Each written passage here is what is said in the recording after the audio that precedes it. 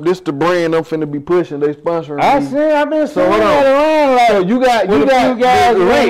Hold on, shouts out Rich, man. You know what I'm saying? Realize it can happen. You feel me? So I see you got one of my other sponsors. You you rocking one of their jackets right now. You know what I'm saying? Shouts out my boy Yeah. Houston Leathers. Yeah. If you no, don't know, he one of the creators for the 85 South show right here from Chattanooga. and put me in the tightest jacket. You know what I'm saying? So uh, if you don't know who Houston Leathers is, you make sure you go check him out.